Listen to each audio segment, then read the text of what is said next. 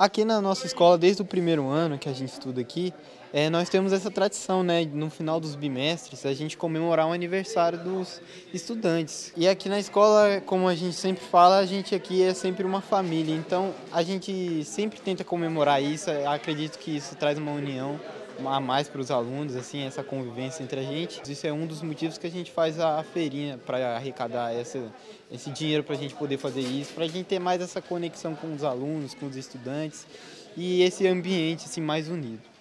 Vocês também fazem festa, tem o bolo também, né? Sim, exatamente, que nem é, após é, os parabéns, né, nós fazemos dinâmicas e brincadeiras também, um momento de recreação aqui entre os estudantes, entre os alunos. A gente tem desde o primeiro ano aqui da escola, a gente faz é, é, essa interação com os alunos, é um momento do encerramento da alternância e a gente aproveita para comemorar os aniversários.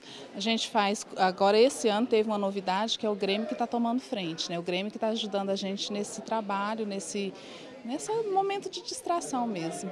Também tem bolo e também tem as dinâmicas, né? Isso, a gente organizou para essa alternância é, algumas dinâmicas.